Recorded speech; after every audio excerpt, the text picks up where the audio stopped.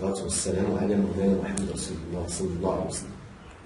رشيد عاتب رئيس جمعية المولى إدريس للأعمال الاجتماعية لموظفي وأعوان عمل أتفاس هذه الجمعية التي أصبحت منذ هذا اليوم رابع دجنبر 2013 تحمل اسم جمعية الأعمال الاجتماعية لموظفي أعمال أتفاس هذا اليوم الذي عرف انعقاد الجمع العام لهذه الجمعية بحضور للمنخرطين والمنخرطات بالقاعة الكبرى لقصر المؤتمرات بفاس افتتح بآيات بينات من الذكر الحكيم. بعده كلمة الترحيب بكل الحضور والشكر لجميع المنخرطين والمنخرطات على الثقة التي وضعوها في هذا المكتب المسير والتي يتوخوا من خلالها حرصهم على حضور الاجتماعات والدعم والمساندة حتى تتمكن هذه الجمع بفضل الله تعالى من السير قدما في الطريق الصحيح. كما نتقدم بالشكر الجزيل لكل من ساهم في دعمنا لعقد هذا الجمع والظروف الحسنة التي مرت فيه.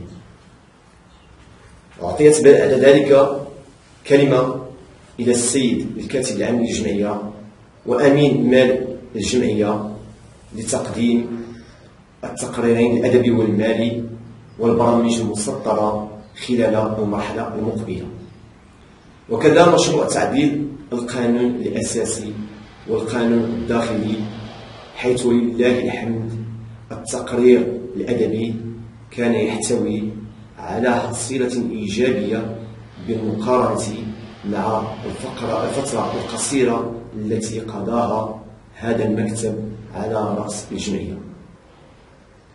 حيث أشار هذا التقرير أولا إلى توزيع كمية هائلة من الدقيق على شريحة كبيرة من الموظفين المرتبين دون السلم الثامن وأعوان الإنعاش الوطني فاقت 400 مستفيد في شهر رمضان والرمضان نشكر بهذه المناسبة السيد والي ولاية جهة فاس بولمان والسيد كاتب العام للولاية رئيس مجلس العمالة مسؤولي المكتب الوطني للحبوب والقطاني رؤساء الأقسام الذين ساهموا والمحسنين من أصحاب المطاحن جزاهم الله خيرا.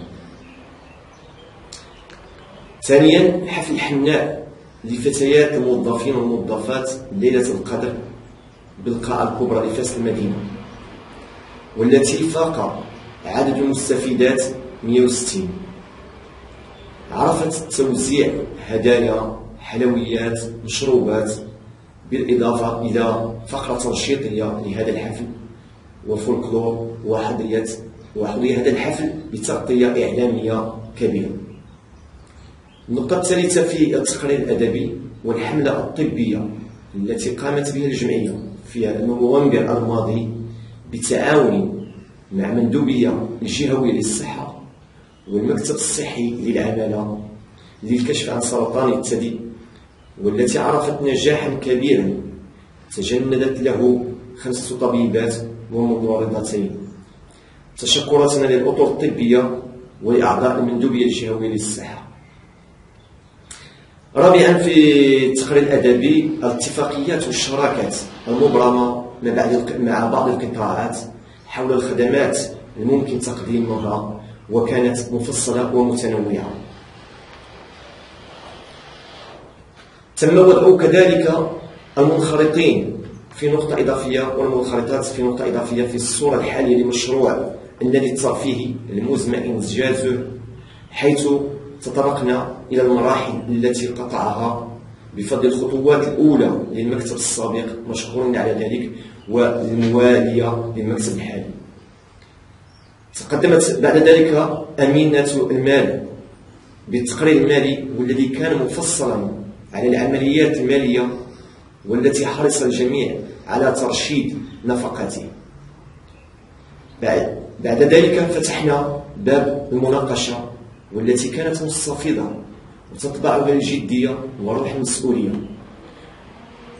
حيث صبت تدخلات الحاضرين بالتنويه بأعضاء المكتب ومساندتهم له وقدمت مقترحات لم تكن تتعارض مع توجهات المكتب المسير حيث حظي التقريرين الأدبي والمالي بالمصادقة. وبعد ذلك طرحت للمناقشة بعض التعديلات تهم القانون الأساسي في أفق ملائمته مع توجهات المنخرطين والمنخرطات حظيت كذلك كلها بالمصادقة. هذه الحصيلة الإيجابية والمتنوعة لم تكن لولا تضافر جهود الجهود حيث نجدد تشكراتنا للسيد الوالي والسيد الكاتب العام ورئيس مجلس العمالة وأعضائه ونطمع فيهم خيرا للمزيد من الدعم والمساندة والرعاية. تشكراتنا تشكراتنا للحضور الكريم. وفي الأخير نتقدم بآيات الولاء والإخلاص إلى السدة العالية بالله صاحب الجلالة الملك محمد السادس نصر الله وإلى الأسرة العلوية الكريمة وشكرا لفاس نيوز على هذه التغطية الإعلامية وشكرا للجميع.